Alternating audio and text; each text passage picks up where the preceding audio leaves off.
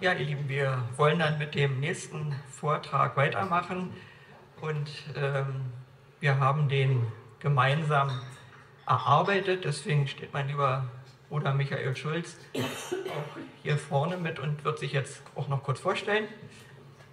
Ja, liebe Geschwister, soll ja heute um 100 Jahre Apostelamt in Frankfurt-Oder gehen.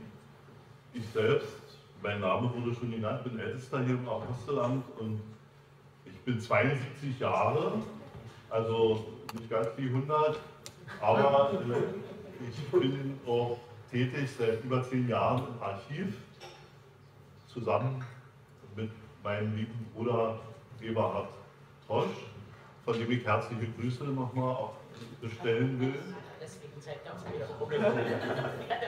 Ja, also ich bin äh, hier groß geworden in diesem Raum, äh, in der Gemeinde 7 des Apostelamtes in Frankfurt-Oder. Also äh, ich habe eine sehr äh, feste Verbindung mit den 100 äh, Jahren, aber jetzt will ich mich nicht weiter der, mit der Vorrede aufhalten, übergebe und äh, werde dann bei Gelegenheit ja also er ist auf jeden Fall mein Publikumsjoker für Fragen, die Archiv betreffen. ähm, denn ich bin nicht Archivar, ich bin als Evangelist äh, in einer Verkündigung, in einer Predigt äh, und wir sind beide in der ökumenischen Arbeit äh, sehr aktiv. Ähm, der liebe Älteste in der ACK und im ÖRBB, äh, also in dem Ökumenischen Rat Berlin-Brandenburg und äh, ich bin an der Stelle nur Vertreter, aber hier für Frankfurt im Ökumenischen Rat der Stadt Frankfurt-Oder äh, tätig. Und unser lieber Apostel hatte uns vor kurzem mal äh, als Außenministerium bezeichnet. Also die Kontakte, die eben auch äh, über die Grenzen der Gemeinde gehen, ähm, damit sind wir auch befasst. Das Thema heute ähm, ist gar nicht so einfach, also einmal schon zeitlich, weil wir 100 Jahre in 70 Minuten versuchen müssen zu packen. Aber zum anderen sind wir schon bei der Überschrift äh, ins Gespräch geraten, äh, wie viele Jahre sind denn das nun eigentlich? Und deswegen stehen ja eigentlich zwei Angaben. Einmal 121 Jahre Apostelamt. Äh, für die Mathematiker unter uns äh, bezieht sich das dann auf 1902, ähm, weil wir schon in unserer Wahrnehmung von daher kommen. Auf der anderen Seite muss man ja sagen, okay, 1923, da gab es ja eine Spaltung. Und von da an bis heute 100 Jahre Apostelamt, äh, ich nenne es jetzt einfach mal Jesu Christi, weil es heute so heißt.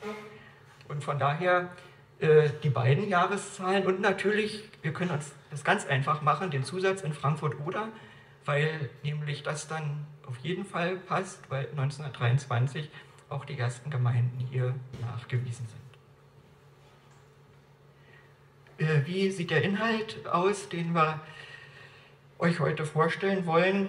Auch das war schwierig äh, zu erfassen, in welchen Zeitepochen man hier denken möchte. Und dann war doch irgendwie das Einfachste, wenn wir uns an den jeweiligen Aposteln, an den jeweiligen Leitern äh, der Kirche entlang hangeln und da entstehen ganz unterschiedlich lange Zeiträume. Wir fangen also an mit Apostel Simeon äh, von 23 bis 33, äh, haben dann einen unwahrscheinlich großen äh, Zeitabschnitt mit Apostel Naphtali, der ja dann später Apostel Jesu Christi hieß. Dann den kürzesten Zeitraum äh, mit Apostel Andreas. Apostel Philippus folgt darauf, Apostel Schulz, dann Apostel Rode und äh, da verrate ich jetzt schon äh, ein Geheimnis. Apostel Philippus und Apostel Rode sind die gleiche Person. Warum das anders bezeichnet ist, äh, da kommen wir im Verlauf des Vortrags dazu. Und dann ändert sich 2009 etwas. Da werden nämlich jeweils die Leiter der Apostelkonferenz, äh, die verantwortlichen Leiter für das Apostelamt, jeweils im Dreijahreszeitraum, da erfahren wir zu diesem Zeitraum dann auch noch etwas mehr. Und als ich so 1923 anfangen wollte, oder wir anfangen wollten, ist uns aufgefallen, eigentlich müssen wir ein Stückchen vorher anfangen, nämlich am 20. Februar äh, 1921. Das war nämlich der Tag, als Hermann Krüger vom Apostel Judah zum Apostel im Stamme Simeon eingesetzt wurde. Er also seine Berufung als Apostel erhalten hat und es handelte sich dabei um einen Auftrag, eigentlich einen neuen Stamm äh, aufzubauen. Und an seine Seite wurden Ernst Krüger gestellt, äh, was sein Sohn äh, ist, Willi Trubach und Albert Trubach Senior. Als Charakteramt sozusagen, als Stammprophet, Stammevangelist und Stammhirte.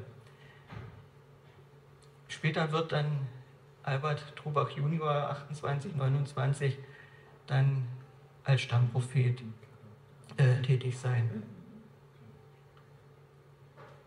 Jetzt versuchen wir mal äh, so einen Überblick äh, hinzubekommen über diese erste Epoche.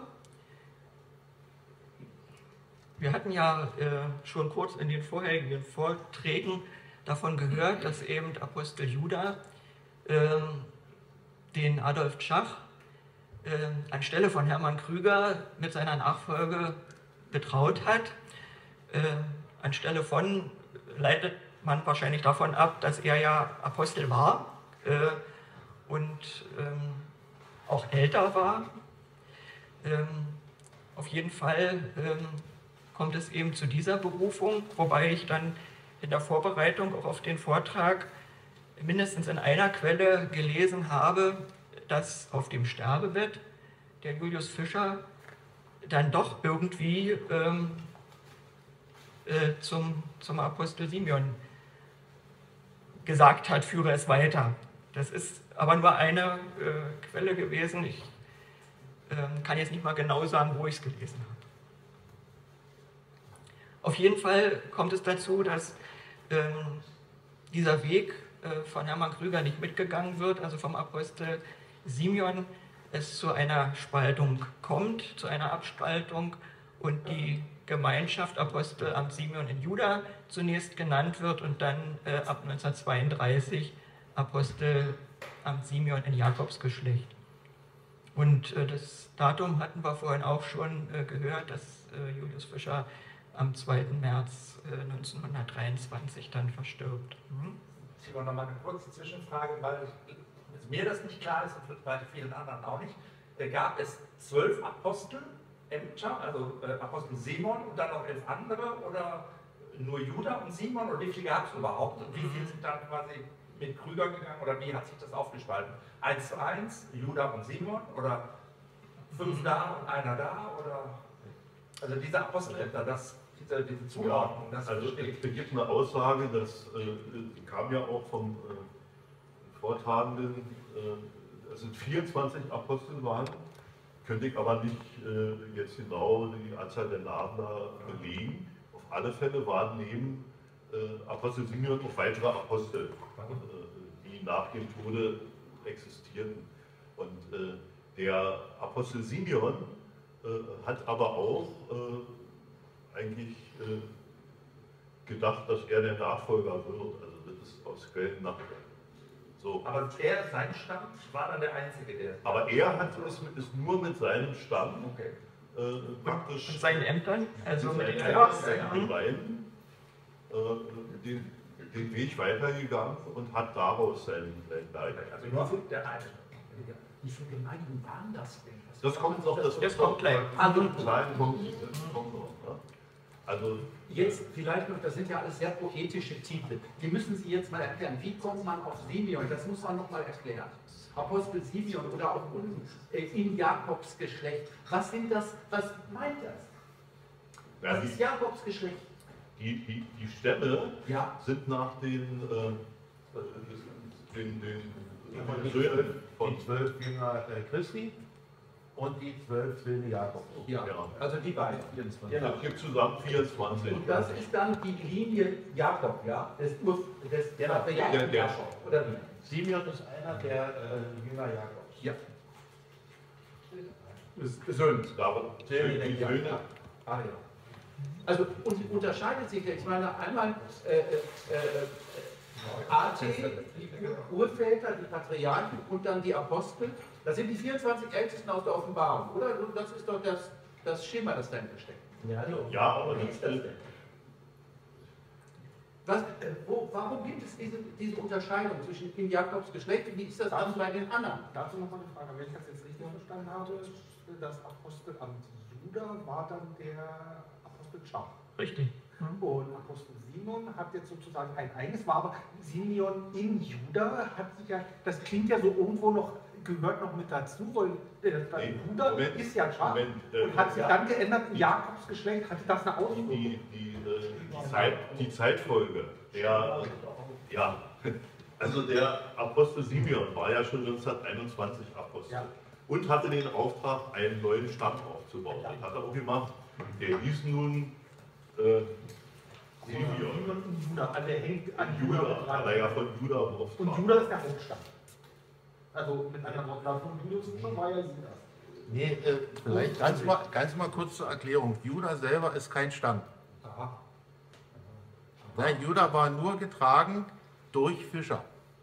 Ah, okay. Der Ja? war für alles zuständig. Er war für alle zuständig, sozusagen das Dach, unter dem dann die ganz anderen Apostel alle ihre Aufgaben Naja, ich muss noch mal was. Also wir, wir, wir kommen dazu sehr äh, ins Einzelne. Im Prinzip geht es ja auf die äh, katholisch-apostolische Kirche und auf die Apostel der Neuzeit zurück. Die haben ja die ganze Welt als ihr Missionsgebiet. Die wollten ja keine neue Kirche schaffen, die wollten nur die urchristliche Lehre wiederherstellen und haben äh, äh, jeder Apostel von den, waren ja auch mal zwölfe, hat einen Stamm gekriegt, geografisch aufgeteilt und da wird er wirksam sein. Und, und, und diese Aufteilung in Stämme, für die setzt sich hier fort. Und äh, ja gut, der Apostel sollte den Stamm Simeon aufbauen, dann hat er in, in, Jakobs Geschlecht, um sich abzugrenzen, dass keine Irrtümer entstehen. Und äh, er hat sich zuerst inhaltlich getrennt und irgendwann hat er dann faktisch auch äh, letzten Endes äh, sich äh, organisatorisch abgekoppelt äh, vom äh, Apostelamt Juda. Ja? Diese Benennung und Stämme hat aber ihr Vorbild in der apostolischen Gemeinde vor Krebs. Denn dort wurden Ja, genau. die Stämme aufgeteilt, die waren vollzählig. Es äh, spielte aber immer auf die alttestamentarischen Israels an. Und äh, ich glaube, Juda war zum Zeitpunkt 1902 noch nicht vergeben, da bin ich mir jetzt nicht ganz sicher. Krebs war nicht dieser Stamm.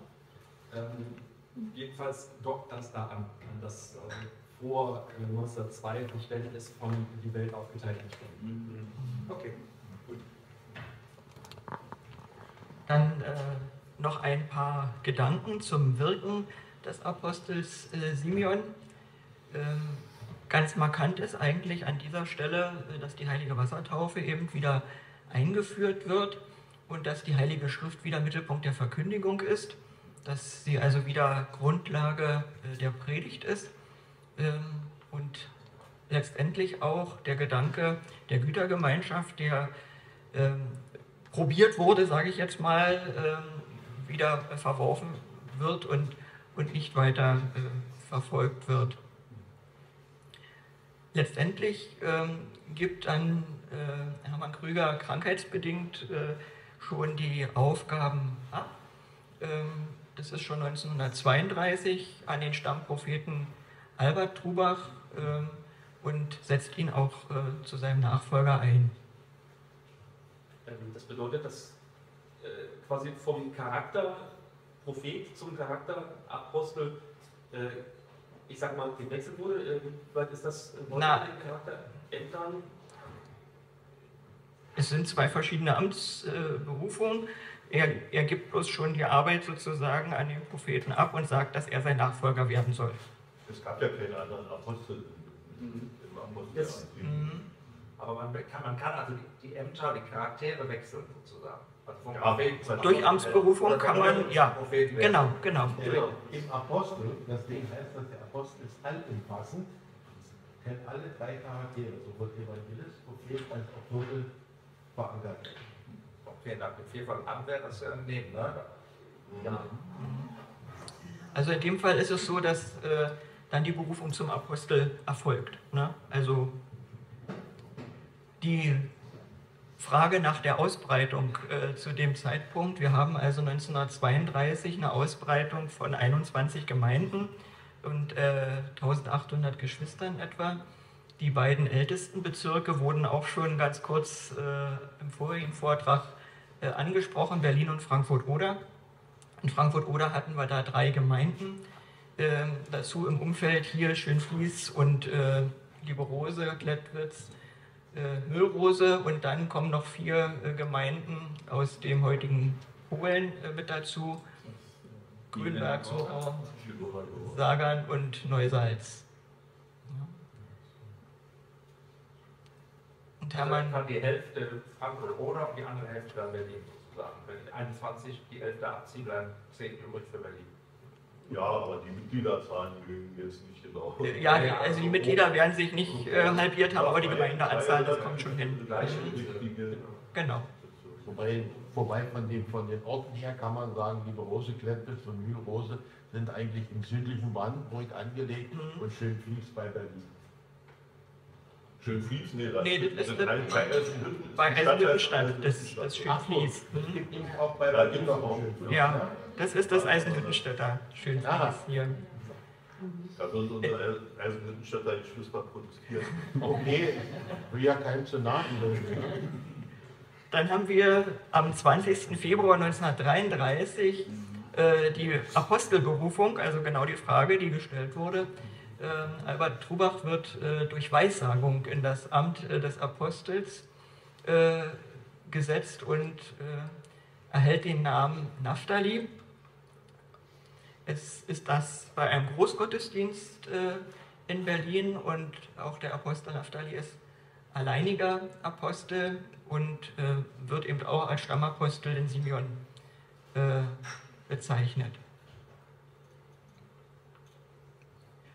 Auch zu seinem äh, Wirken, äh, das ist natürlich jetzt ein sehr langer Zeitraum, ähm, ganz markant ist, dass er gleich am Folgetag, glaube ich, äh, des oder sogar am 20. Februar direkt, also es wurde, glaube ich, am nächsten Tag verteilt, äh, das erste Mitteilungsblatt äh, herausgegeben hat. Das Mitteilungsblatt ist äh, heute noch unsere Kirchenzeitschrift, ähm, wo also sowohl die Apostel oder Amtsträger äh, sich äußern zu bestimmten Themen, wo aber auch Geschwister Erlebnisse und Berichte niederschreiben können, sozusagen als eine, als eine Zeitschrift äh, für die Geschwister. Äh, und das war das allererste Mitteilungsblatt und mir hat eigentlich gefallen, dass der Apostel da gleich geschrieben hat, wozu das dienen soll. Nämlich als Richtschnur für versiegelte Mitglieder zum inneren Zusammenhang des ganzen von Gott geleiteten Werkes und Besonderheit zum damaligen Zeitpunkt vom Apostel selbst verfasst. Also das hat er äh, praktisch geschrieben. Und in der heutigen Zeit, hatte ich erzählt, ist es dann durch mehrere, äh, wird es durch mehrere äh, Schreiber zusammengestellt. Unter Apostel Naphtali kamen dann äh, weitere 15 Gemeinden dazu mit etwa 1500 Geschwistern. Das heißt, wir waren dann etwa schon auf einem Stand von 36 Gemeinden und 3300 Gesch- Geschwistern. Äh, Das ist also tatsächlich eine Zeit, äh, wo es sehr stark gewachsen ist, wo es äh, kaum Gottesdienste äh, gab, wo jetzt nicht irgendwie eine Versiegelung war oder auch große Anzahlen von Versiegelungen. Ähm, Wenn man heute froh ist, äh, wenn irgendwo in einer Gemeinde zwei Versiegelungen sind und, und da waren dann in einem Gottesdienst manchmal 30 Versiegelungen oder ähnliches. Dann kam eine sehr schwierige Zeit, äh, das Verbot. Ähm, Am 5. November 1934 äh, ist das Tätigkeitsverbot ausgesprochen worden für das Apostelamt ähm, unter Begründung von marxistischen Umtrieben. Also man hat es nicht aus religiösen Gründen äh, untersagt, sondern man hat äh, da praktisch irgendeine Staatsfeindlichkeit äh, reininterpretiert Die Glaubensgemeinschaften wurden also aufgelöst, es wurden äh, Beschlagnahmen vorgenommen. Äh, ich hatte da auch in der Vorbereitung Listen gesehen, also da wurde, wurden die Gesangbücher aufgezählt, ein Opferkasten, ein Leuchter, also da wurde wirklich alles, äh, Inventar. alles Inventar in, äh, beschlagnahmt und äh, es wurden eben auch ähm, die ähm, Brüder inhaftiert, angeklagt, äh, etwa 100 Geschwister. Auch der Apostel Naftali selbst äh, war teilweise oder zeitweise inhaftiert. Und ähm, das war also eine sehr schwierige Zeit. Und trotzdem äh, wurde im Untergrund, im Hintergrund äh, oder, wenn man es ganz krass sagen will, in der Illegalität weitergearbeitet. Das heißt, es fanden trotzdem äh, Hausbesuche statt, wo Andachten gefeiert wurden. Es gab Segnungen. Es äh, gab also äh, weiter mit zugezogenen Vorhängen äh, Gemeindebegegnungen. Und ähm, das war natürlich auch ganz besonders wichtig, äh, wenn, wenn die Brüder mal auf Urlaub waren von der Front, dass die dann in aller Regel auch wieder mit einem Segen äh, zurückgegangen sind, dass sie also den Moment zu Hause dafür auch genutzt haben, äh, den Segen Gottes zu erfahren.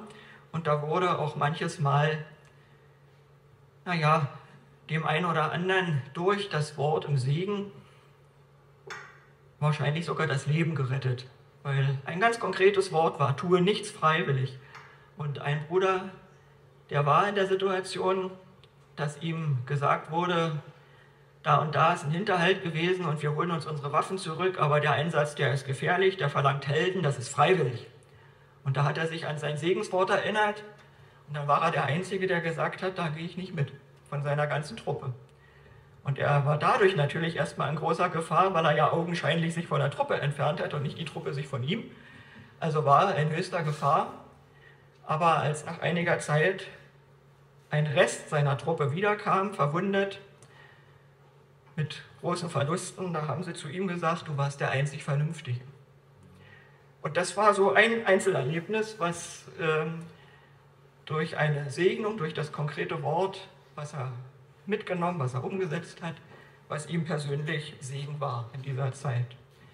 Ein ganz besonders wichtiger Punkt in dieser Zeit war auch das gemeinsame Abendgebet. Wir kennen im Apostelamt Jesu Christi eine gemeinsame Gebetsstunde. Die war ursprünglich mal um 22 Uhr. Sie wurde aber in der Kriegszeit auf 21 Uhr vorverlegt. Und ich habe tatsächlich auch in der Vorbereitung zu äh, diesem Vortrag eine Erklärung dafür gelesen. Es soll, eine, es soll in den Gefängnissen die Schließzeit um 21 Uhr gegeben haben, wo also alle in ihre Zellen mussten und zugemacht wurden. Und da kaum einer eine Uhr hatte, äh, dort, war das ein ganz verlässliches Zeichen, wie spät es gerade ist. Und äh, die Gebetsstunde wurde auf 21 Uhr festgelegt. Dass man also überall die Hände gefaltet hat, gebetet hat und ganz besonders natürlich auch für die Geschwister, die eben im Krieg waren. Und das hat sich ähm, bis heute glücklicherweise erhalten. Wir haben also immer noch 21 Uhr als Gebetsstunde und heute hilft es vielleicht den Menschen im Krankenhaus, den Menschen, die alleine sind, den Menschen, manchmal sogar den Kindern auf Klassenfahrt, weil sie sich vielleicht gerade nicht wohlfühlen, aber sie wissen, um neun beten alle und das macht eine große Verbindung in der Kriegszeit ganz besonders. Zum Thema das Verbot. Wir haben heute nur ansatzweise und eigentlich kaum über diesen, äh, diesen Zusatztitel oder diesen Namens Bestandteil des völkischen Sozialismus gesprochen. Mhm. Äh, meines Wissens nach war 34 das noch Teil des Namens. Aber im Apostel am Bruder. Okay, das heißt jetzt hier keine Rolle. Nein. Okay. Mhm. Das, dieser, dieser Zusatz Gemeinschaft des völkischen Sozialismus war der letzte Wunsch von Fischer, ja. dass das mit als Zusatz eingetragen wird und ein Verein dementsprechend. Ich will es jetzt nicht sprechen, aber mhm.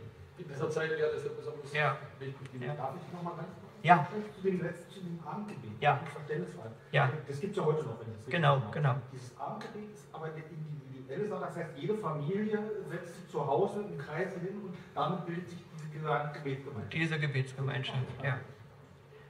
Und natürlich muss man ehrlicherweise sagen, ähm, wir wissen es nicht, wer es macht. Aber es sind alle herzlich eingeladen und spätestens, wenn ich es brauche, äh, wird mir die Stunde einfallen.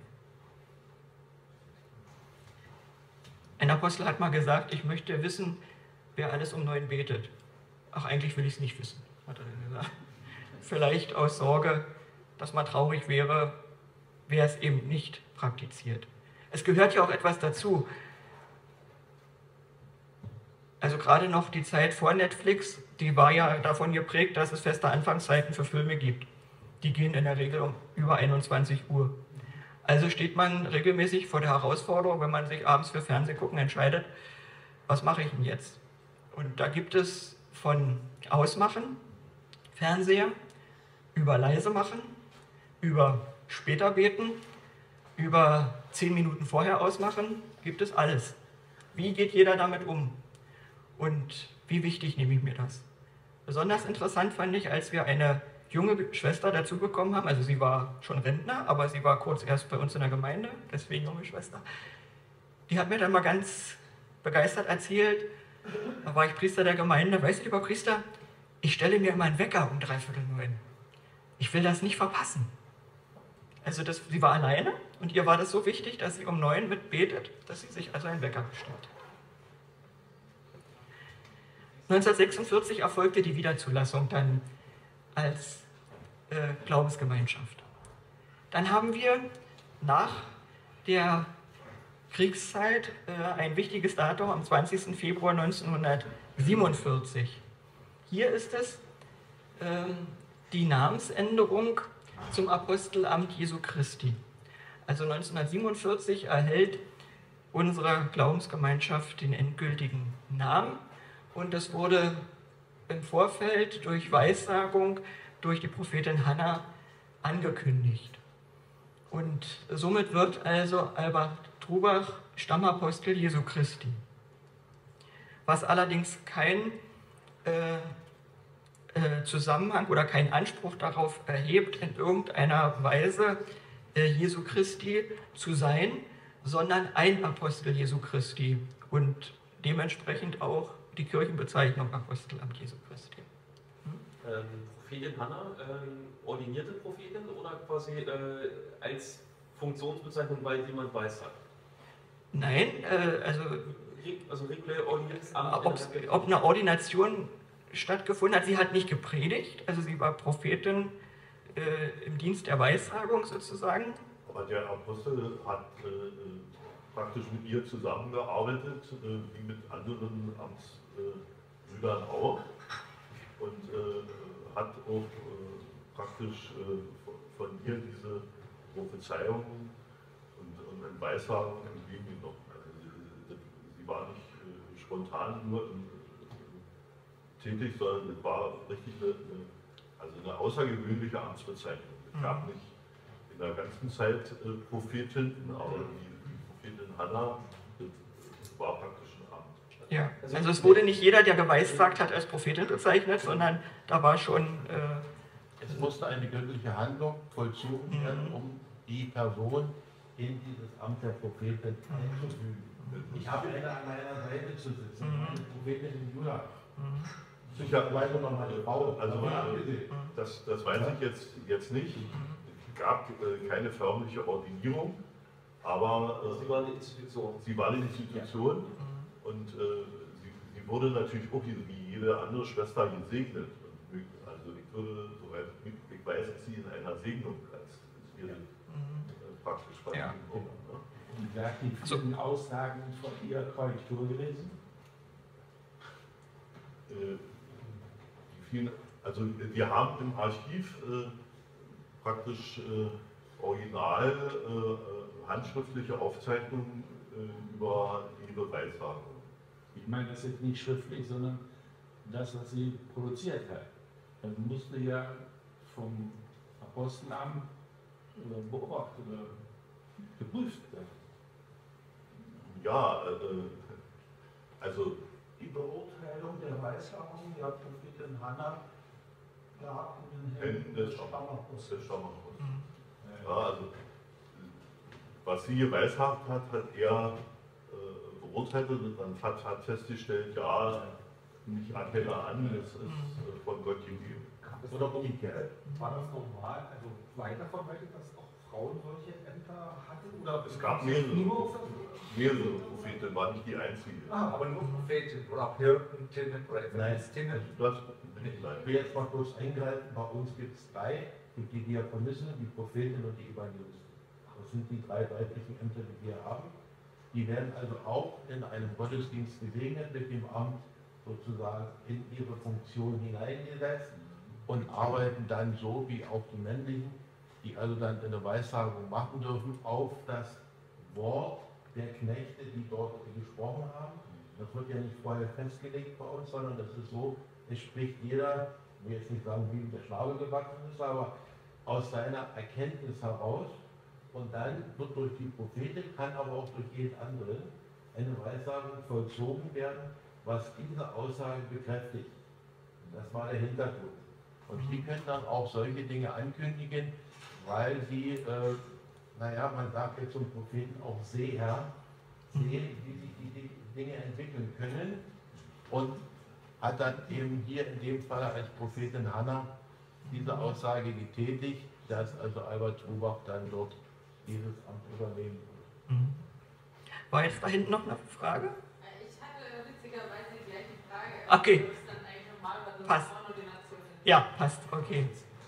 Ich habe aber noch eine Frage Ja? zum, zum, zum Namensverständnis. Ihr habt ja äh, vielfach, äh, greift ihr ja auf die Stammesväter zurück. Hannah ist ja auch ein biblischer Name. Ist das jetzt tatsächlich so, dass sie auch im Grunde genommen das als Zusatz hat oder heißt sie tatsächlich mit Vornamen Hannah?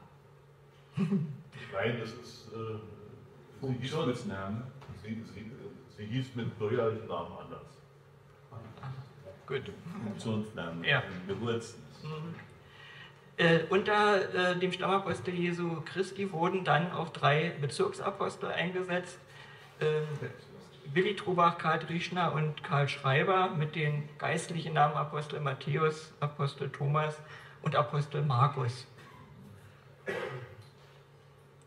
In dem zeitlichen Zusammenhang von 1947 und den folgenden Jahren äh, ist wichtig zu äh, wissen, dass unser sogenannter Ratgeber und Wegweiser äh, entwickelt und, und herausgegeben wurde, ein kleines Heftchen, was praktisch den Geschwistern ähm, an die Hand gegeben wurde, äh, wo zum Beispiel auch der kleine Katechismus drin war, äh, wo etwas zum Leben, äh, zum Leben der Gläubigen in der Familie, in der Gemeinde äh, geschrieben wurde, ähm, wie das Verhältnis äh, in der Seelsorge zu den Amtsbrüdern ist, zum Unterdiakon, zum Diakon. Also das war sozusagen ein, eine Art Handbuch, Ratgeber und Wegweiser für äh, die Geschwister.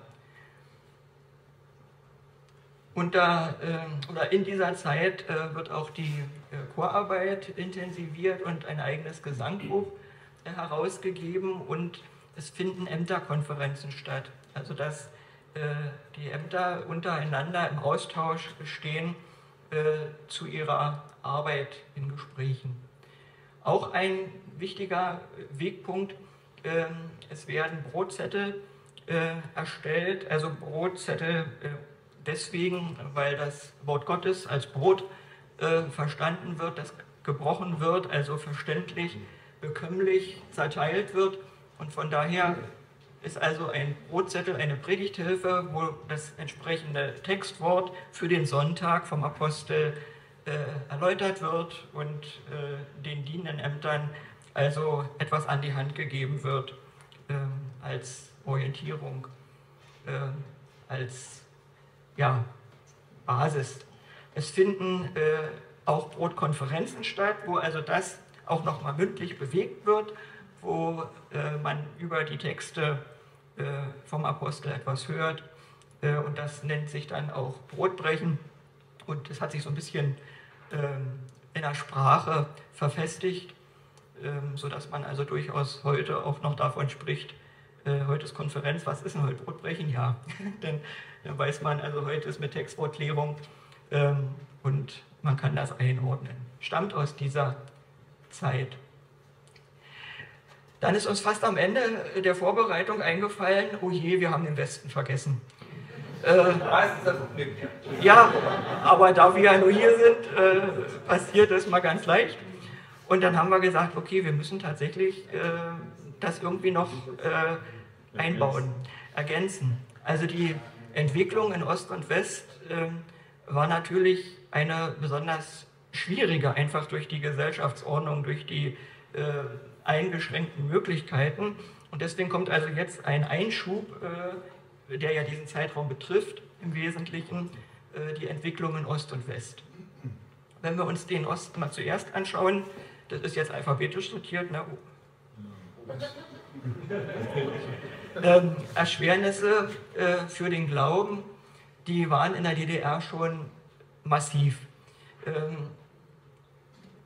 es ist wirklich Praxis gewesen, dass man nicht zum Studium zugelassen wurde, dass man keine Meisterschule machen durfte, dass man Nachteile hatte, äh, wenn man nicht in der Pionierorganisation in der FDJ war.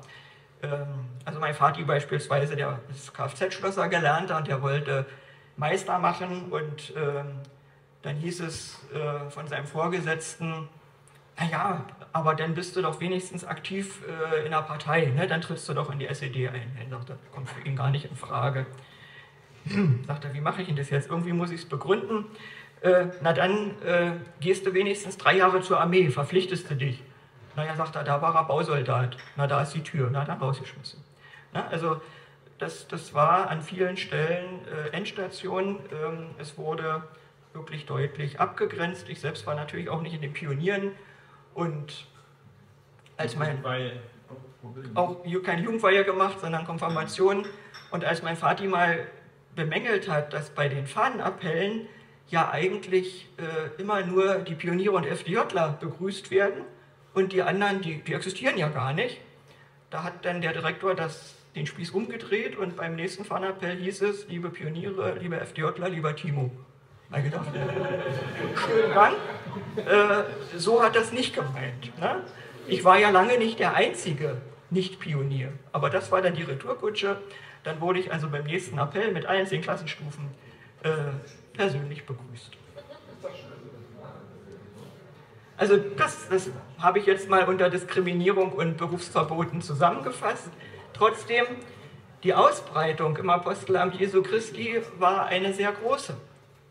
Also wir hatten äh, kurzzeitig 150 Gemeinden, wenn man also auch die Aufbaugemeinden mitzählt. Das sind also entstehende kleinere Gemeinden, wo äh, nicht unbedingt ein Priester verantwortlich war, sondern wo oftmals auch ein Diakon beauftragt war, diese Gemeinde zu betreuen und dann nur zu besonderen Anlässen, wo Segnung und ähnliches war, dann auch ein Priester mit hingefahren ist.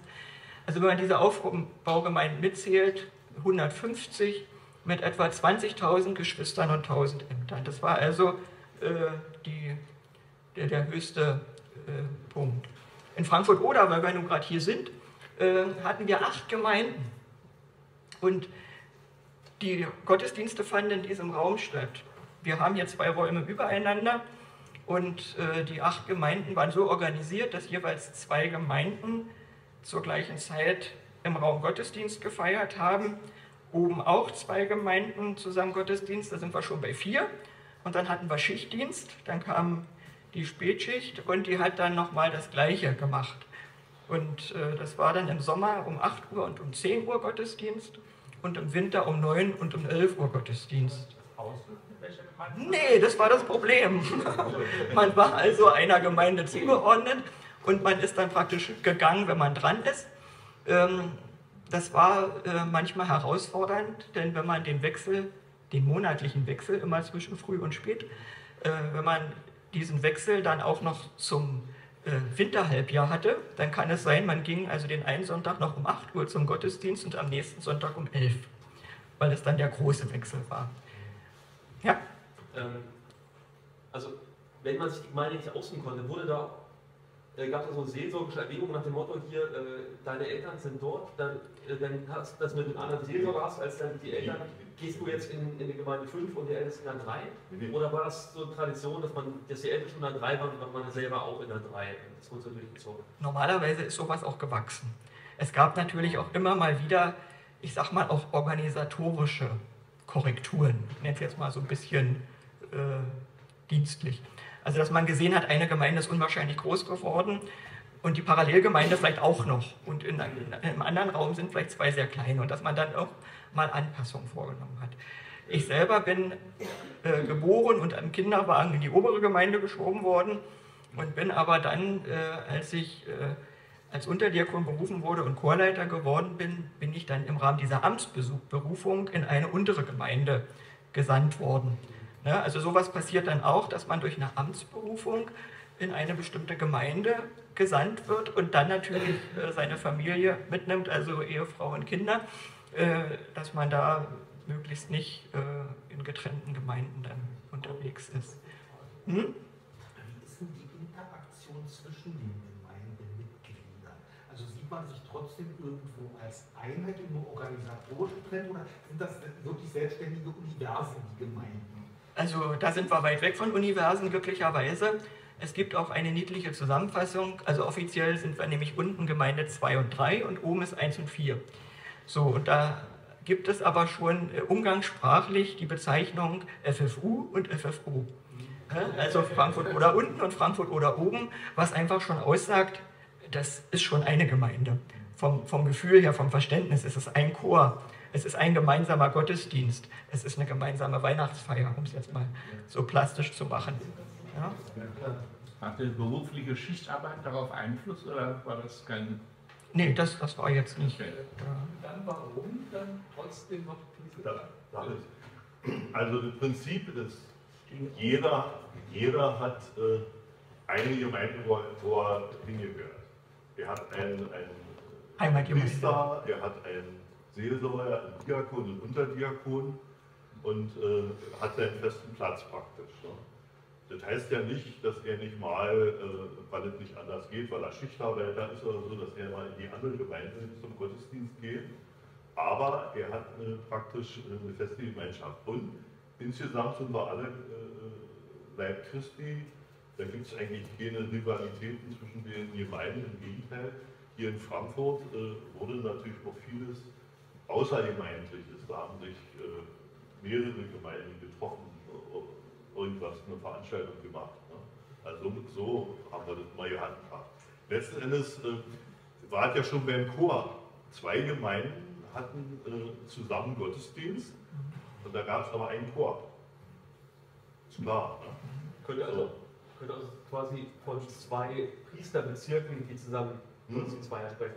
Ja, die Priester haben sich abgewechselt, es sei denn, ein, ein anderes Amt kam als Besuch. Ne? Äh, Die haben sich in, in, in, in der Predigt abgewechselt. Ja, bitte? Hat jede Gemeinde nur einen Priester? Ja. Ja. Ah, okay. Also zur damaligen Zeit acht Also Priester, heute haben wir vier Priester, weil wir jeder, heute noch vier Priester Gemeinden ist sind. sozusagen äh, Gemeindeleiter. Gemeindeleiter. Ja, sozusagen. Ah, genau. Das ist ein völlig anderes Prinzip als in den anderen apostolischen Ja, Gemeinden, die jetzt hier sind. Ne? Ja. Weil ich, weil ich gerade äh, unsere Psalmistin und Chorleiterin sehe, wir haben ja dann auch noch die, die einzelnen Gemeindechöre zusammengefasst. Es gab einen gro- sogenannten großen Chor, da haben, konnten eben alle äh, Chorgeschwister mitsingen. Und äh, ja, die, die äh, Gemeinde, äh, könnte man sagen, warum hat man die Gemeinden so, so klein gemacht? Ne? Das war eben, damit die Seelsorge gewährleistet werden konnte, denn als äh, die Gemeinden noch stark waren, die äh, Priester, die arbeiteten ja. Mussten ja nach der Arbeit äh, die ganze Arbeit äh, tun und da wäre eine bestimmte Größe der Gemeinde, da wäre es nicht mehr möglich gewesen. Ne? Das war das eigentlich der Grund der Leiter. Sind die Gemeinden dann noch etwa pro Priester etwa gleich groß? Oder kann es sein, dass der eine, also außer jetzt mit organisatorischen Anpassungen, gibt es da eine Lösung, sozusagen immer ab 50 Leuten wird dann eine zweite Gemeinde gegründet oder eine dritte oder eine vierte? Vollkommen gute, guter Gedanke, äh, aber die, Gemeinden wachsen eben heute nicht. Ja. Aber ihr legt es dann trotzdem noch nicht zusammen. Also es gibt jetzt auch Priester, die vielleicht nur noch zehn Geschwister haben. Nein, nein, nein. Also wir haben etwa äh, knapp 100, sage ich jetzt mal, im Schnitt. ist die Pro Gemeinde. Grenze, wenn es mehr sind, Mhm. äh, dann hat man früher Ja, war in es Frankfurt. Frankfurt. Ja. Drei Gemeinden waren es bei, bei Simeon Mhm. Und äh, später waren es dann mal acht. Also da wurden auch Gemeinden geteilt, wo es hieß, das war mal die Gemeinde so und so, da ist die Gemeinde Nummer N plus 1 hervorgegangen. Also haben wir hier in Frankfurt, wenn jetzt hier noch zwei jeweils sind, haben wir jetzt noch mindestens 400 Leute hier. Ja, äh, also wir haben vier Gemeinden. Also Vier Ja, ja, Gemeinden also sind die die, jede Gemeinde 100 Leute haben. nicht ganz. Hm. So. Wir sind, glaube ich, Kommt- knapp drunter. kommt äh, Ja, ja. einfach hin.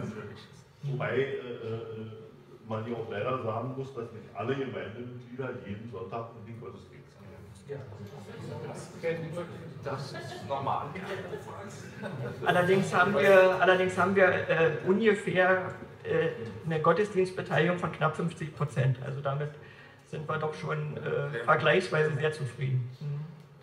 Ja, Sie sind Evangelist und dieser Bruder ist Ältester. Ja. Das sind dann übergemeindliche Ämter. richtig. Also Sie gehören nicht zu einer von Ich gehöre, also ich habe zwar auch eine Heimatgemeinde, ich bin immer noch Mitglied in der Gemeinde Frankfurt-Oder 2, unten, FFU, ähm, aber bin jeden Sonntag äh, in einer anderen Gemeinde unterwegs, in, in Brandenburg vorrangig, teilweise auch in Mecklenburg, weil unser Apostel äh, den Bereich mitbetreut, ähm, aber hauptsächlich in Brandenburg und weil Brandenburg so viele Gemeinden hat, ist das auch nochmal unterteilt in Brandenburg 1 und Brandenburg 2. Also der nördliche Brandenburg ist 1 und der südliche Brandenburg ist 2.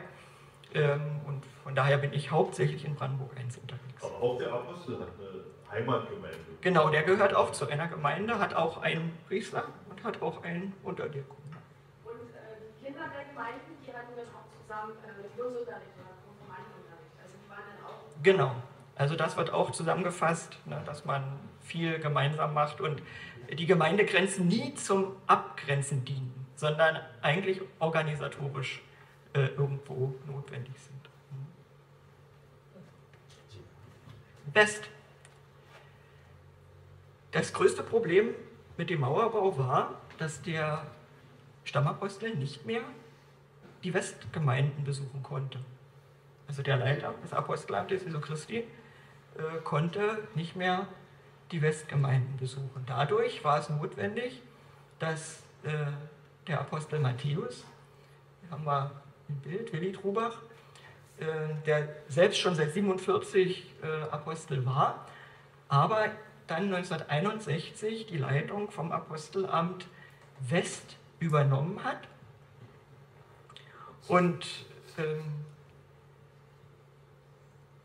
da kann ich mir jetzt nicht wirklich ein Urteil erlauben, aber aus den Unterlagen geht hervor, dass es aus Gründen äh, der Rechtssicherheit äh, notwendig war, damals die Rechtsform eines Vereins zu wählen, um einfach bestimmte Rechtsgeschäfte wie zum Beispiel einen Grundstückserwerb oder ähnliches äh, tätigen zu können. Das war also der Grund dafür, dass es im Westen dann das Apostelamt Jesu Christi Kirche als Körperschaft des privaten Rechts e.V. gab. Und damit sozusagen eine parallel äh, existierende Körperschaft. Eine Frage. Ja, Ist mit Westen West-Berlin gemeint? und Westdeutschland, ja, Westberlin und Westdeutschland, genau. Dann äh, gab es in dieser Zeit äh, West noch eine Abspaltung, ähm, und zwar ist der äh, GDAJC, die Gemeinschaft der Apostel Jesu Christi, ähm, entstanden. Ähm, ich würde aber meinen, äh, früher, als es in der Übersicht steht. Da müsste man vielleicht nochmal, ich glaube, da steht es erst in den 70ern. Ich würde denken, dass es eher in den späten 60ern, aber da müssten wir vielleicht nochmal, deswegen habe ich hier jetzt keine Jahreszahl äh, dazu geschrieben. Ähm, Im späteren Verlauf übernimmt dann der Apostel äh, Paulus, Horst Trubach, äh, rechts hier im Bild, äh, die Leitung des Apostelamts Jesu Christi West ab Mai 75.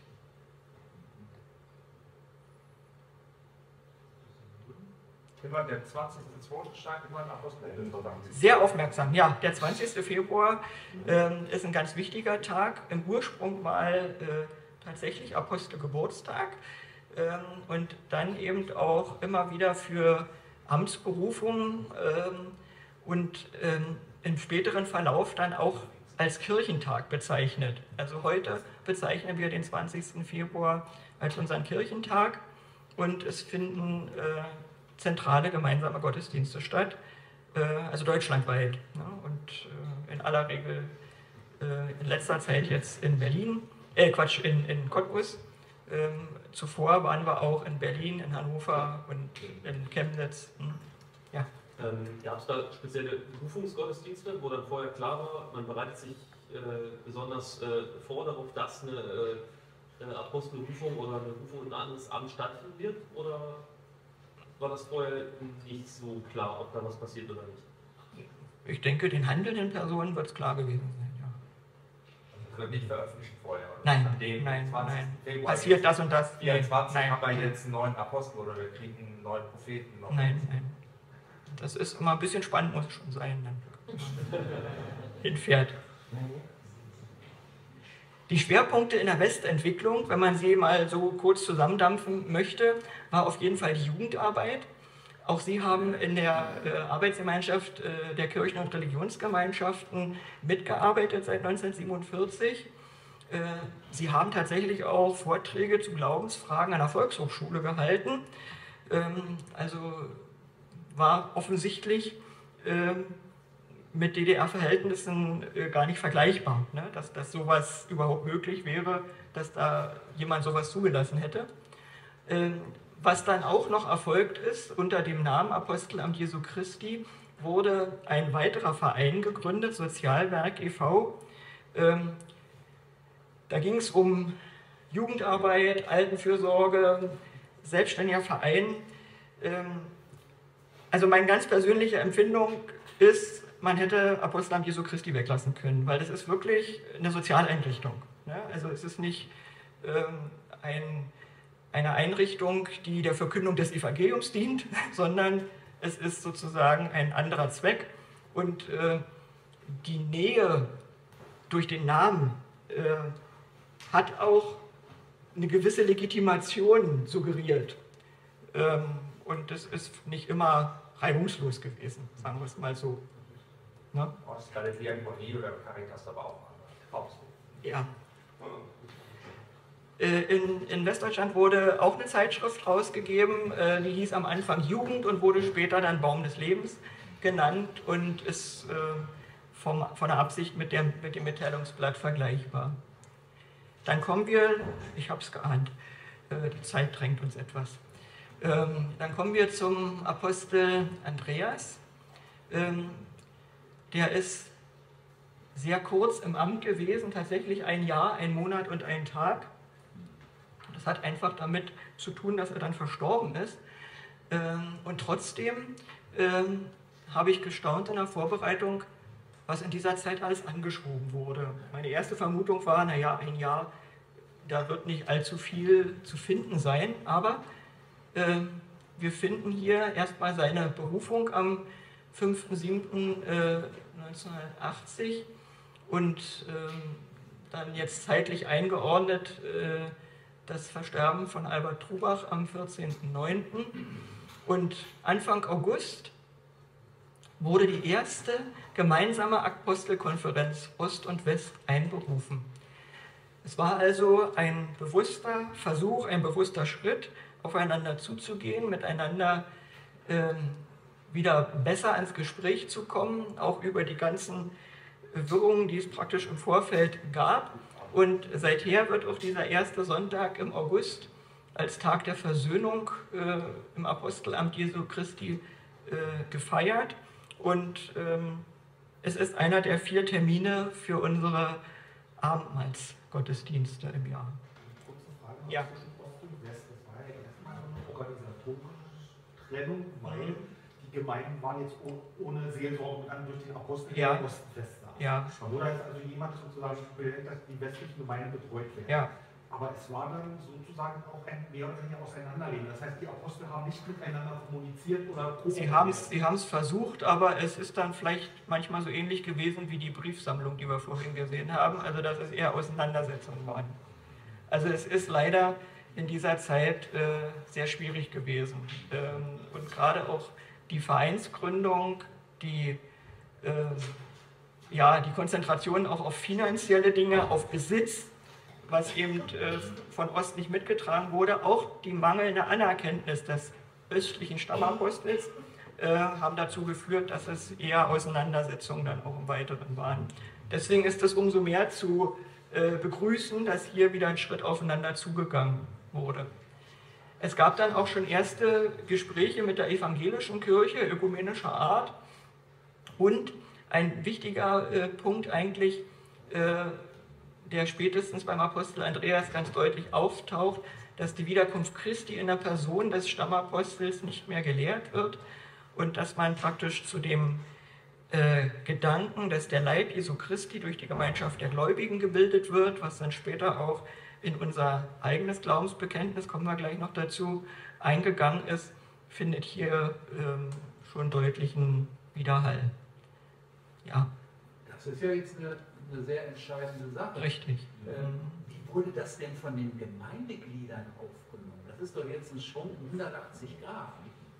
Oder, oder war das sozusagen schon latent Es- da? Manche Sachen entwickeln sich ja einfach. Ja, Dann ja, kommt ja. die Kirche und sagt so, das Mhm. ist jetzt unsere Lehre, aber sie hat Ja. sich vorher schon entwickelt. Äh, Das würde ich eher so Ja, äh, also es sehen. war schon vorher die Tendenz da, das nicht mehr ganz so Und, und, hier, zu sehen. und hier ist es richtig, dass es nicht mehr, nicht mehr benannt ist, sozusagen. Und wir kommen auch zu einem Thema, äh, was eigentlich auch ein Hauptthema noch bis heute ist, äh, der Vergleich praktisch zwischen äh, Wiederkunft und Gegenwärtigkeit des Herrn. Da kommen wir nachher nochmal ganz kurz dazu. Habe ich jetzt was übersehen? Nee. Gut, gedacht. Äh, dann kommen wir zu unserem Apostel äh, Waldemar Rode. Ähm, da wollte unser lieber Ältester was zu sagen. Zumindest zur ersten Wirkungsetappe.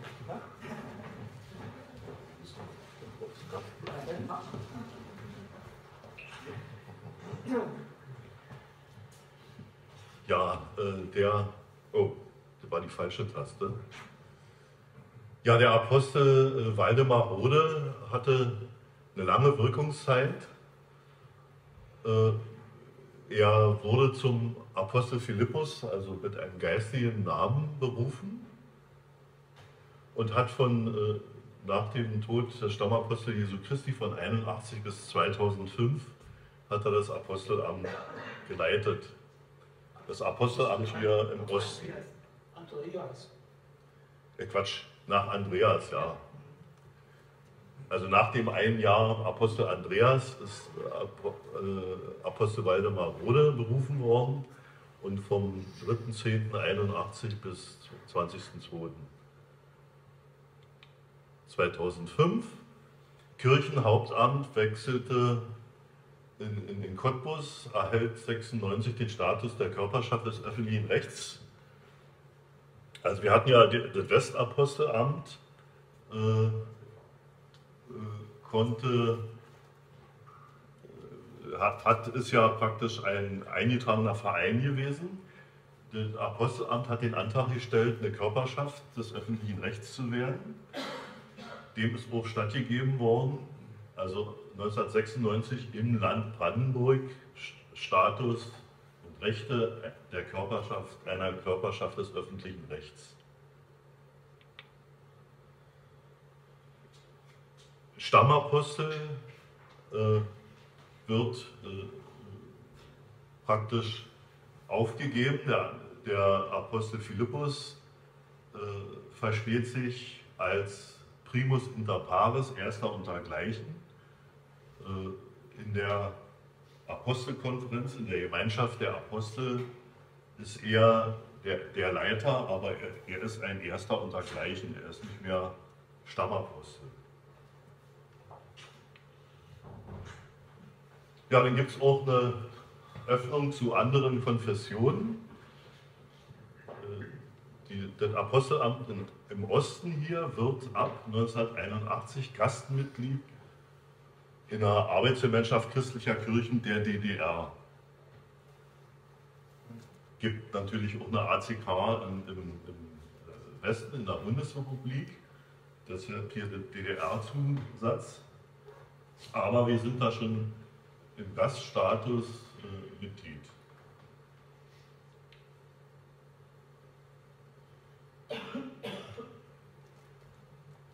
Ja, 1985 äh, äh, hat das Apostelamt ein eigenes Glaubensbekenntnis, so ein Zwölf-Punkte-Papier, äh, zwölf Glaubenssätze. Und das Apostolikum, das apostolische Glaubensbekenntnis, das altkirchliche, wird weiter anerkannt. Es ist nicht so, dass es außer Kraft gesetzt wird. Der Apostel Rode hat mal erklärt, er ist immer gefragt worden, ja, was glaubt ihr denn, eigentlich? Äh, Oder was seid ihr für eine Kirche? Seid ihr katholisch, seid ihr evangelisch? Nee, wir sind Apostelamt. Was ist das Besondere am Apostelamt? Äh, In dem Bestreben, das Besondere äh, in einem Glaubensbekenntnis auszudrücken, ist eben dieses Papier entstanden. Aber das Apostolikum ist weiterhin anerkannt wurde aber, muss man auch der Ehrlichkeit halber sagen, im Religionsunterricht nicht mehr gelehrt. Heute äh, sind wir zu dem Apostolikum zurückgekehrt, das bloß vorab, aber 85 eben diese Einführung.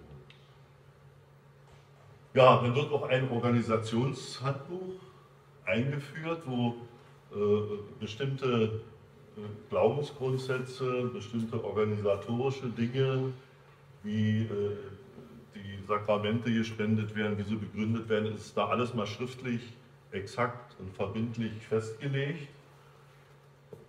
Ich habe das heute noch stehen, manchmal gucke ich da heute noch rein, obwohl ja die Zeit schon lange her ist.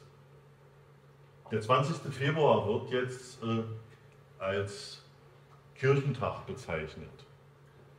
Also der zentrale Gottesdienst äh, DDR-weit war ja schon vorher, jetzt äh, sagen wir dazu, das ist ein Kirchentag und äh, wer kann, kommt zu diesem zentralen Gottesdienst hin, denn da finden Amtssetzungen statt und da wird auch nach unserem Verständnis eine Wegweisung erfolgen durch die Predigt an diesem Tag, äh, wie es weitergehen wird. Äh, örtliche Gottesdienste gibt es dann nicht an dem Tag. Ausnahmsweise. Äh, da gibt es, wenn praktisch die Geschwister, die äh, krankheitsbedingt nicht reisen können oder so, das ist auch mal ein Gottesdienst, aber im Allgemeinen sollen alle zu diesem zentralen. Ich habe noch eine Frage. Ja. Und zwar habe ich äh, bei uns in dem Amtsblatt gelesen, weil ich komme aus der Nähe von Cottbus, ich kenne auch die äh, Lokalitäten dort. Und äh, da stand dann drin, dass das Apostelamt Jesu Christi am 2. Mai einen Sendungstag in Cottbus feiert. Naja, äh, wir feiern den äh, 2. Mai als Sendungsfest. In, in, das wurde direkt in den, in den Messegelände dort. Naja, äh, also wir haben hier auch, der 2. Mai ist ja nicht mehr so, noch nicht so lange zurück, da haben wir hier auch einen zentralen Gottesdienst, einen Abendgottesdienst in der Gertraudkirche äh, gefeiert und äh, die Cottbusser, das ist ein anderes Kirchenamt, ein anderer Zuständigkeitsbereich, die machen da auch einen zentralen Gottesdienst. Aber der Kirchentag ist am 20. Ja, ja, deswegen frage ich das. Zwei Sachen, ne? Zwei Sachen. Apostel Rode hat sieben Apostel eingesetzt, die sind so aufgezählt. Ich muss jetzt mal ein bisschen auf die, aufs Gas drücken. Jetzt kommt die Wendezeit. Jetzt äh, fällt die Mauer und da ändert sich ja einiges. Im Natürlichen, was hat sich im Apostelamt geändert? Am 26. Januar äh, gibt es äh, eine Absprache, Apostel Paulus, Horst Truber, Apostel Philippus, Waldemar Rode, gemeinsamer Weg zur Einheit des Apostelamtes soll erarbeitet werden. Liegt ja nahe. Ne? Aber das, äh, mit der Einheit ist nicht so einfach. Und äh, letzten Endes ist erst, alle haben sich gefreut, die Mauer ist gefallen, jetzt äh, wird alles besser, jetzt sind die Beschränkungen für die Glaubenden hier in, in, in der DDR, ehemaligen DDR weggefallen. Aber äh, zumindest erste Schritte unternommen. Am 20. Februar 1991 Oh, ich spreche doch so Leute. Doch aufgenommen damit. Ach so. Am 20. Februar 91 und auch 92 findet ein gemeinsamer Gottesdienst aller drei Bereiche in Berlin statt. Das war natürlich große Freude ausgelöst.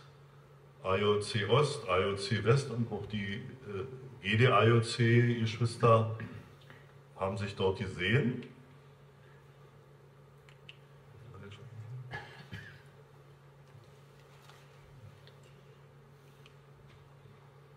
An. Hier immer.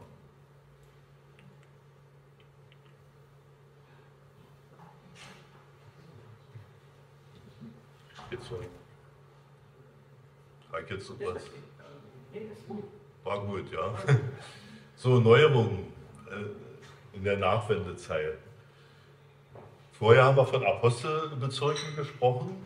Ein Apostel war für einen Bezirk verantwortlich, jetzt äh, die Bezeichnung Kirchenämter.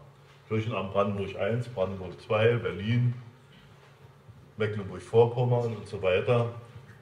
Zentrale Arbeitskreise, zack, abgekürzt, für Querschnittsbereiche, für Musik.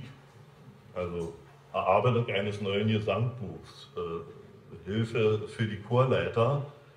Da haben sich äh, die Verantwortlichen zentral getroffen und äh, haben dort ihre Erfahrungen ausgetauscht und äh, es war eine, eine einheitliche Arbeit möglich im ganzen, in der ganzen Kirche. 1994 ein Höhepunkt, zentrales Jugendtreffen am Gardelinsee in der ehemaligen Pionierrepublik. Da waren 450 Jugendliche aus allen Teilen Deutschlands.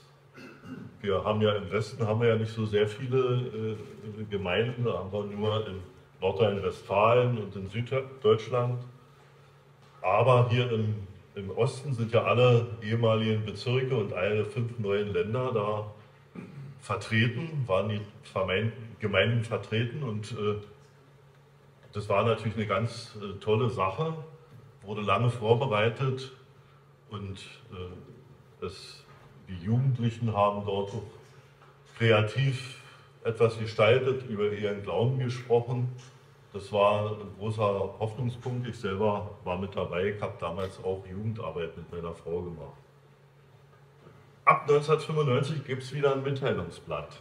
Nach dem Krieg gab es mal für zwei Jahre bis 1950, 51 ein Mitteilungsblatt, das wurde im Westteil von Berlin gedruckt und irgendwann war es dann nicht mehr möglich, wurde eingestellt, alles hat sich gefreut, es wieder ein Mitteilungsblatt gab. Zu DDR-Zeiten haben wir mal ein paar Seiten vervielfältigt mit Ormig gehabt, ansonsten fehlte eigentlich das Mitteilungsblatt als wichtige Bindeglied zwischen den Gemeinden und Geschwistern. Ab 1997 äh, werden Kontakte zur OAC, also äh, zu der Apostolischen Kirche in Südafrika, aufgenommen. 1998 werden äh, äh, die geistigen Apostelnamen abgeschafft. Also wir sagen dann nicht mehr Apostel Philippus, sondern Apostel Rode, den bürgerlichen Namen. Ab 1998 auch der Beschluss, dass das Bischofsamt nicht mehr besetzt wird. Mit was für einer Begründung? Na, die Begründung äh, war, dass die Arbeiten äh, eines Bischofs auch vom Apostel erledigt werden, dass es praktisch keine äh, Begründung mehr gibt, äh, das Amt neu zu besetzen. Das war nicht so richtig, äh, ist nicht so richtig auf Verständnis gestoßen und äh, ist ja auch, hat wieder eine Zeit gegeben, wo das Bischofsamt wieder besetzt wird. Das war nur eine Zwischen- Und die Begründung, warum die geistlichen Namen abgeschafft wurden? die, Geist, die geistlichen Namen abgeschafft. Naja, also äh, die geistigen Namen äh, führte ja auch, also für mich persönlich immer äh, so, insofern zur Verwirrung, weil es gab denn, wenn man jetzt gesprochen hat, ja, welcher Apostel Lukas ist gemeint, welcher Apostel Johannes ist gemeint, äh, es gab ja dann äh, mehrere äh, äh, Brüder, die das Amt bekleidet haben. Das wird nicht die entscheidende gewesen sein. Ich, ich würde mal sagen, auf solche, ja bitte? Vielleicht wird auch so andersrum gedacht. Man hat gesagt, es gibt keine liturgische oder keine, äh, nicht liturgische, es gibt keine, äh, keine geistliche Begründung für diese Namen. Also, weil eigentlich muss man sich überlegen, warum mache ich das, was ich mache und nicht nur. Das ist aus Traditionsbetreuung. Ja, für, für mich war das, äh, wenn ich mal vom, für mich war das immer so, ich dachte, naja, der Apostel mit einem bestimmten Namen, der hat äh, von seinen äh, Gaben, die er hat, äh, jeder Apostel äh, hat ja einen anderen Charakter, andere Gaben, hat ein anderes Wort, wenn man so will. Ist derselbe, ist derselbe Geist, aber sind ja unterschiedlich. Und das habe ich immer verbunden mit diesem geistigen Namen. Aber im Prinzip ist es ja so, dass der Apostel eigentlich die Fülle aller Gaben äh, äh, von Gott geschenkt bekommt, wie er sie ausprägt, wie er äh, sie lebt, ist ja mal noch ein Unterschied. Also wie gesagt, auf alle Fälle war das äh, jetzt erstmal, ja, wir wollen ja nur die Fakten aufzählen.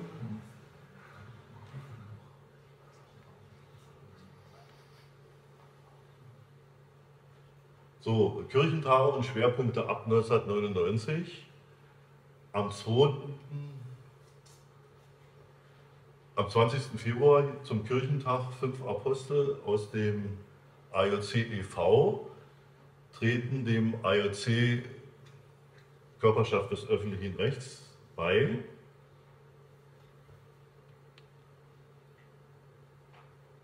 Einladung zum Abendmahl nur für Versiegelung zählt erstmal bis auf.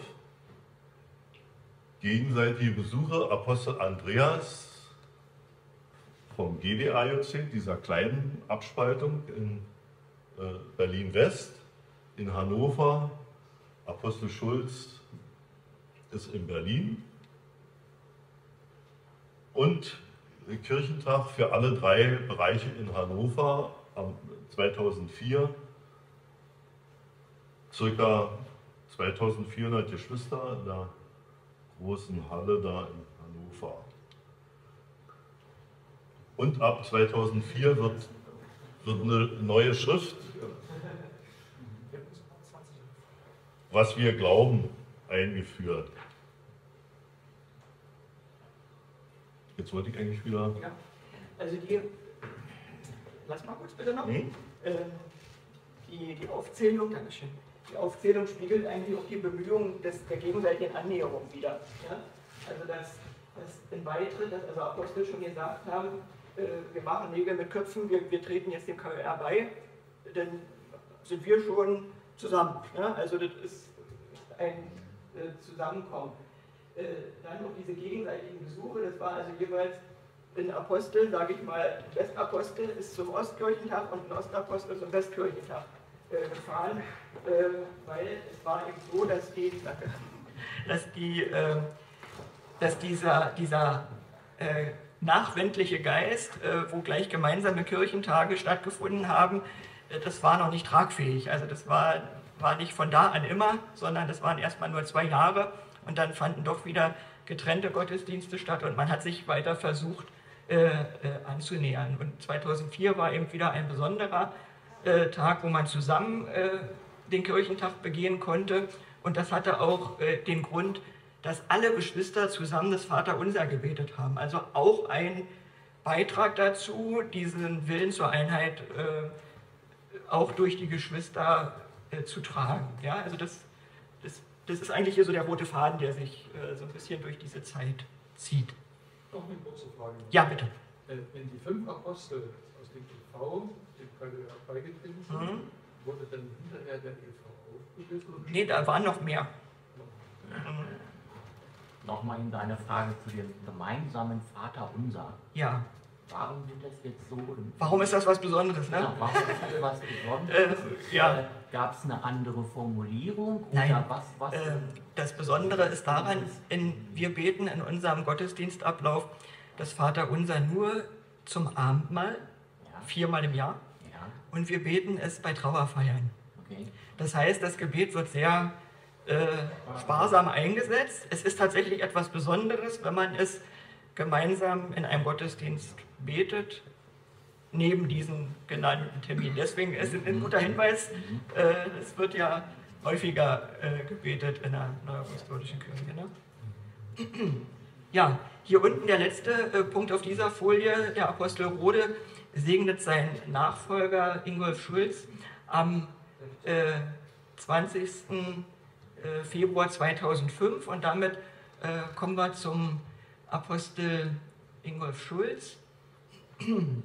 Die Amtszeit vom 20. Februar 2005 äh, bis äh, 13.05.2006. Das bezieht sich also äh, auf die Amtszeit ähm, als leitender Apostel.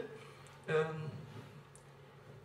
in dieser Zeit wurden die äh, Kontakte zur ähm, Altapostolischen Kirche Südafrika äh, intensiviert und äh, in diesem Zusammenhang gab es dann am 2. Mai 2005 ähm, einen Gottesdienst in Berlin, wo die gesalbten Amtsträger mit ihren Frauen anwesend waren und es war da eigentlich vorgesehen, äh, das Salböl für die Apostel und ihre Frauen einzuführen, also sie zu salben.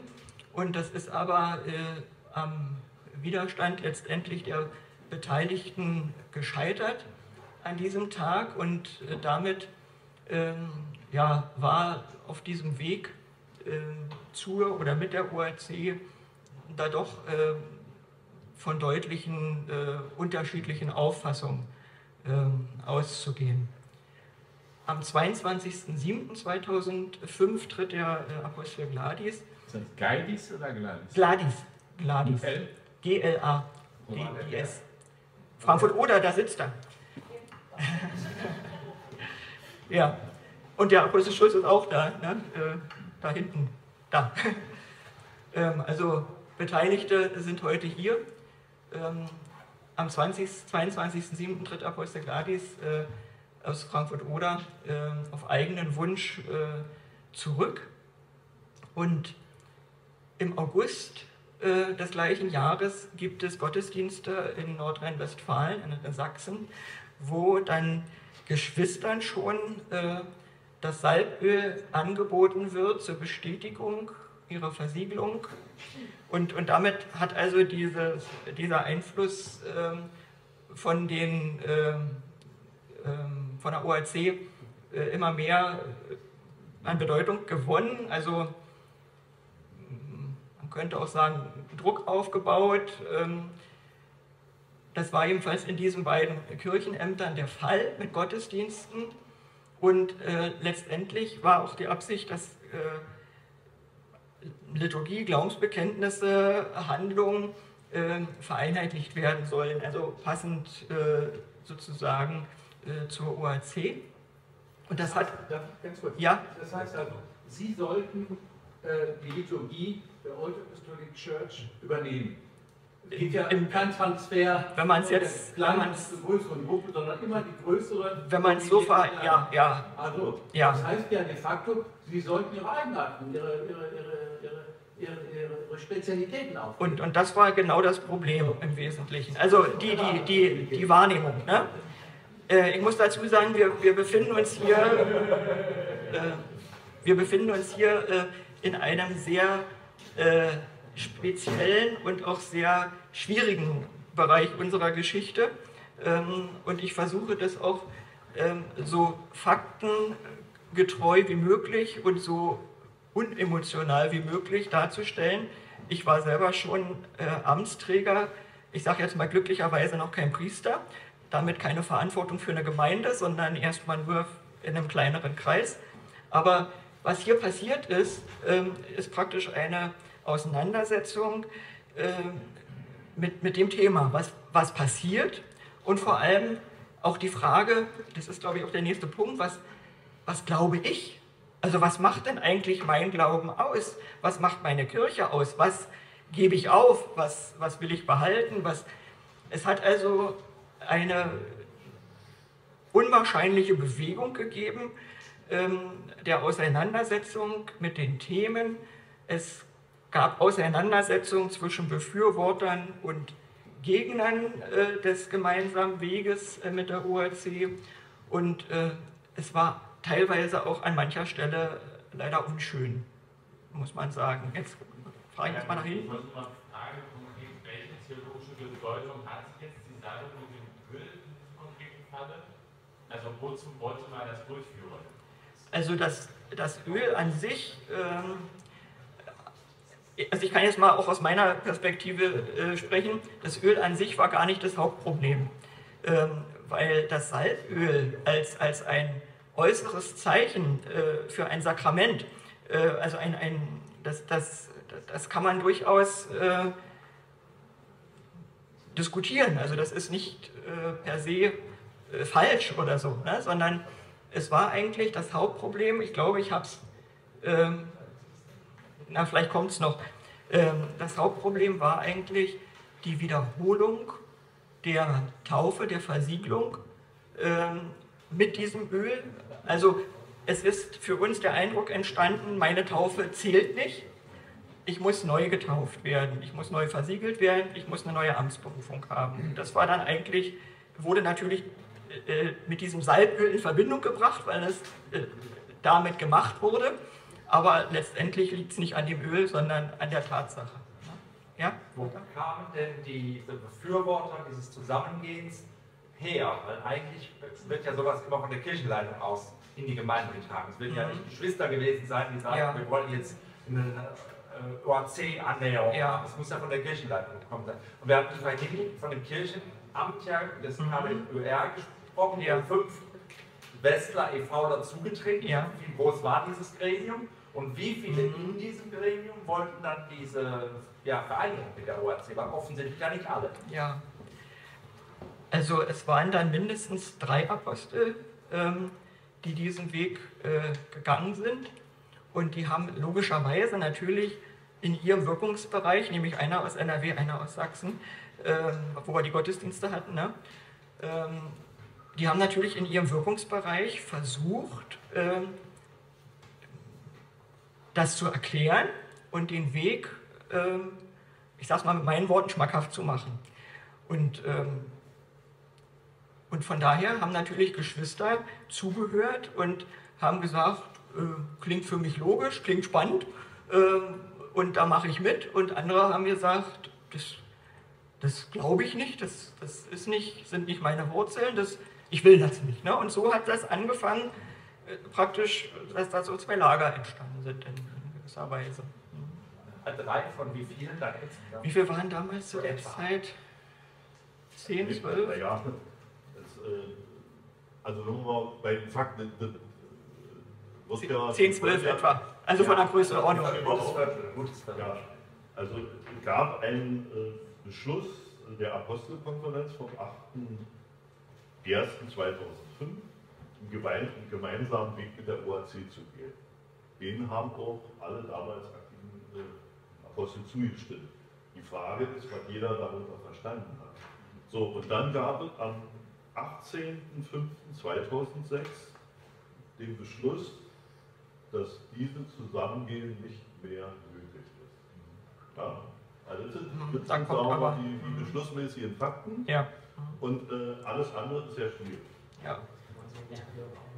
Also die, die, die Themen waren wirklich so, dass es durch Familien ging. Also äh, in der eigenen Familie äh, gab es eben den einen und den anderen Gedanken. Und in der größeren Familie ist es eben doch so gewesen, dass die einen eben äh, mit zur alterapostolischen Kirche gegangen sind und andere geblieben sind. Und äh, manche einer äh, hat darunter sehr gelitten. Und äh, letztendlich musste aber jeder irgendwo für sich eine Entscheidung treffen. Wir sind Ähm. hier gerade hier in einem ganz spannenden Thema mit ganz Mhm. vielen Fragen, aber wir sind auch schon 20 Minuten im Zeitverzug. Timo hat gesagt, dass wir sehr auf die Zeit achten Ja. müssen, Interesse. Wie wollen wir es machen? Möchtest du noch die Präsentationsfolien einmal schnell vorstellen und wir machen Fragen im Nachgang? Äh, ja, könnten wir machen. Ähm, also es gibt ja lecker Kartoffeln und Quark und mindestens der Quark ist schon kalt. Und, und, und wenn man den mit Kartoffeln verrührt, wären auch Kartoffeln kalt. Also vielleicht ist es nicht ganz so dramatisch, äh, wenn die Kartoffeln nicht mehr dampfen, ne? wenn ihr einverstanden seid. Ja. Dann bringen wir das noch, bringen wir das noch schnell äh, zu Ende. Ähm, es ist jetzt in dieser, in dieser Zuspitzung so, dass am 2. Mai 2006, da ist wieder gemeinsamer Gottesdienst in Berlin, diesmal aber nicht nur die Amtsträger, sondern äh, offen eingeladen. Und da kommt es zu Amtsenthebungen von den äh, Gegnern des, der Vereinigung mit der UAC. Und, und das ist eigentlich der Höhepunkt, sage ich jetzt mal, der, der sichtbaren Spaltung. Ich war in dem Gottesdienst dabei. Dann sind äh, auch Brüder aufgestanden und sind demonstrativ rausgegangen. Ein Teil blieb und das war furchtbar. Es war eigentlich nicht zum Aushalten. Und äh, vor allem wurden so viele verdutzte Geschwister da übrig gelassen, die, die gar nicht wussten, was hier eigentlich äh, los ist. Also das war sozusagen der, ja, die, die Zuspitzung. Und letztendlich ist es so, dass ein Großteil der Geschwister den Weg äh, nicht mitgehen. Äh, und hier haben wir jetzt den Fakt mit der erneuten Taufe und Versiegelung, Amtsberufung, äh, sondern bleiben. Daraufhin, äh, also das ist dann nur wenige Tage Später erklärt dann der Apostel Schulz den Austritt äh, aus dem Apostelamt Jesu Christi und mit ihm dann auch noch die beiden Apostel Hans-Georg Richter und Uwe Jakob. Äh, zwar etwas später, erst im August äh, 2006. Letztendlich gründen sie dann die Altapostolische Kirche in Deutschland. Ähm, und ja, das ist auch schon, sage ich mal, äh, der Punkt, wo wir mit der, mit der äh, Darstellung dieser Thematik dann auch schon äh, wieder aufhören. Also ich hoffe, ähm, da auch keine äh, Wunden aufzureißen, in dem Sinne, dass man Konfrontationen hat. Aber ich habe versucht, es, oder wir haben versucht, es so darzustellen. Dann äh, tritt wieder äh, eigentlich aus einer Not heraus, weil jetzt hatten wir ja so eine führungslose Situation. Der leitende Apostel war weg und ähm, da ist der Apostel äh, ehemals Philippus, äh, jetzt ja nach der Abschaffung der Apostelnamen wurde, äh, dann ein zweites Mal äh, aktiv geworden. Also er hat sich bereit erklärt, äh, wieder ähm, tätig zu werden. Und mit ihm wurden auch noch weitere Apostel aus dem Ruhestand wieder aktive Mitglieder der Apostelkonferenz, dass einfach auch die Leitung wieder da war. Zu dem Zeitpunkt also gar keine Apostel mehr im AJC. Apostel schon noch, aber äh, kein, kein, kein Leiter in dem Moment mehr, genau. Und, und da ist eben äh, der, der Vorgänger sozusagen wieder aktiv geworden. Äh, als erste Amtshandlung, sage ich jetzt mal salopp, wurden die Amtsenthebungen vom 2. Mai wieder aufgehoben und auch alle Änderungen, die schon so vorbereitend äh, auf die Anpassung äh, mit der ORC sozusagen äh, in Angriff genommen wurden, wurden auch wieder rückgängig gemacht. Und das, das fällt dann in die Zeit, wo der liebe Else gerade von dem, von dem Beschluss sprach, dass der Weg mit der ORC so nicht mehr äh, weiter verfolgt wird. Und äh, eigentlich so ein bisschen ein denkwürdiger Satz war am 20. Februar 2007, dann also dem nächsten Kirchentag nach diesem Ereignis. Und da gibt es den einen Ausspruch, es gibt gute Gründe, im Apostelamt Jesu Christi zu sein, aber der Heilige Geist wirkt auch in anderen Glaubensgemeinschaften. Also das war ein äh, nach meinem Empfinden wichtiger Satz äh, zur Offenheit gegenüber äh, anderen Christen. Am 20. Februar nächsten Jahres werden Apostel Japs und Apostel Grote durch Apostel Rode berufen und Apostel Gladys wird wieder eingesetzt, der also 2005 ähm, äh, freiwillig äh, sozusagen zurückgetreten ist, äh, wird hier durch Apostel Rode wieder am 20. Februar 2008 als Apostel eingesetzt und letztendlich verstirbt Waldemar Rode am 17.04.2009. Ich habe diese Folie vorbereitet am 17.04.2022, äh, 23, äh, und da habe ich seine Frau angerufen an dem Tag.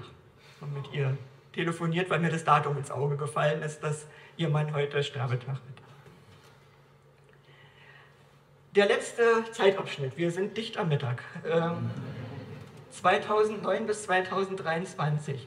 Es ist jetzt organisiert, dass die Apostelkonferenz ähm, in einem rotierenden System alle drei Jahre einen Leiter der Apostelkonferenz bestimmt, der dann jeweils auch eben Leiter des Apostelamtes ist.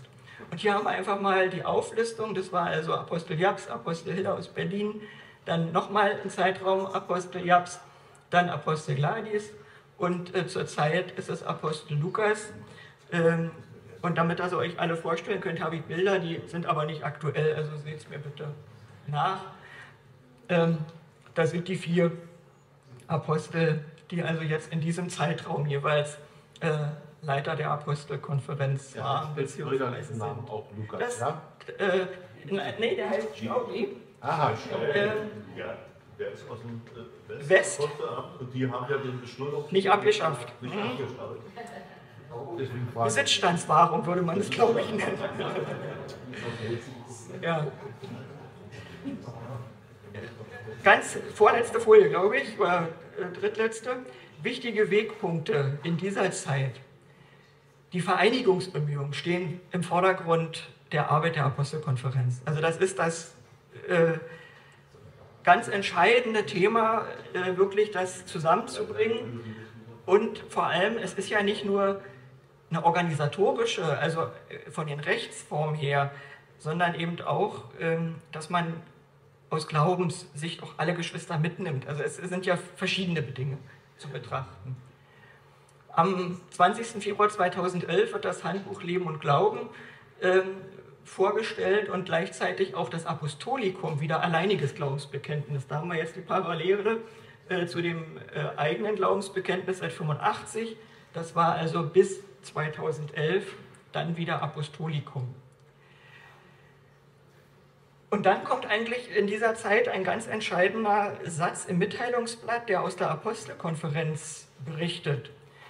Und der betrifft eben ein ganz äh, aktuelles Thema, äh, wo gesagt wurde, wir glauben, ich sage es jetzt mal sinngemäß, äh, wir glauben an die Gegenwärtigkeit des Herrn in der Gemeinde und trotzdem kann eine Wiederkunft des Herrn, wie sie in der Heiligen Schrift verzeichnet ist, nicht ausgeschlossen werden. Und das wurde sozusagen äh, auch der Gemeinde im Mitteilungsblatt ganz offiziell 2011 äh, bekannt gegeben. Und das ist ein ganz wichtiger Schritt, äh, dass die Wiederkunft äh, bevorsteht, dass die Heilige Schrift, so wie sie äh, besteht, äh, eben im vollen Umfang gültig ist und keiner Deutung bedarf. Ähm, und das ist sozusagen ein, ja, ich, das kann man trefflich missverstehen. Keine, ich meinte keiner Umdeutung, ne? also, weil ja da etwas Zukünftiges beschrieben ist und wenn man sagt, das ist irgendwie schon passiert, dann muss es ja in irgendeiner Weise äh, erklärt werden. Ähm, Ende 2016 ist es dann endlich geschafft, dass alle Bereiche in die Körperschaft des öffentlichen Rechts aufgegangen sind, dass also auch der Verein liquidiert ist und dass wir äh, acht Kirchenämter, 90 Gemeinden und etwa 5000 Geschwister äh, haben. Die Schwerpunkte der jüngeren Entwicklung, das hatte ich ja gerade schon angesprochen, sind eigentlich nach meinem Empfinden zwei. Das eine ist das Verständnis von der einen Kirche Christi im Verhältnis, ähm, nee, Quatsch, im, im, im, in, der, in dem Verständnis, eigentlich aus dem Pfingstwunder äh, her rührend als Geburtsstunde der Kirche Christi und eben losgelöst von Konfessionen, sondern alle im Namen des dreieinigen Gottes Getauften, äh, was eigentlich wir auch im Testimonium finden. Ne? Und, und dass man da immer mehr mit umgeht, dass wir Teil der Kirche Christi sind und dass wir dazugehören wollen. Der zweite Schwerpunkt ist der Umgang mit der bevorstehenden Wiederkunft des Herrn im Verhältnis äh, zu seiner Gegenwärtigkeit. Also in diesem Zwölf-Punkte-Papier, in dem Glaubensbekenntnis, was unseren Glauben besonders vorstellen wollte, hieß es, ich glaube, dass, die, dass der Leib Jesu Christi durch die Gemeinschaft der Gläubigen gebildet wird. Und, und das äh, verstehen wir auch so, dass also die Gemeinschaft der Gläubigen eigentlich Christus erlebbar machen soll in, der, in dieser Zeit. Dass wir als, als Gesandte, als Beauftragte tätig sein sollen. Was aber nicht in Eintopf geworfen werden sollte mit der Wiederkunft des Herrn, wie sie in der Heiligen Schrift geschrieben steht. Eigentlich dem Wort folgen, ich bin bei euch alle Tage bis an der Weltende und dann ist eben von der Wiederkunft die Rede. Das sind also die beiden Schwerpunkte, die uns durchaus heute auch in verschiedenen Kirchenämtern unterschiedlich stark bewegen, äh, weil manches ist schon weiter fortgeschritten im Austausch, in den Gesprächen und manchmal hat man da noch ein bisschen mehr zu reden. Es war doch noch nicht die vorletzte Folie. Ähm, ganz kurz noch, was haben wir in den letzten Jahren gemacht? Wir haben uns an der Zeltevangelisation beispielsweise beteiligt. War in gewisser Weise Neuland auch für uns, dass wir äh, in, in, in Eisenhüttenstadt hier in der Nähe äh, an fünf, sechs Abenden äh, Gottesdienste begleitet haben, wo eingeladen wurde in der Stadt äh, und wo Menschen was von Christus hören können.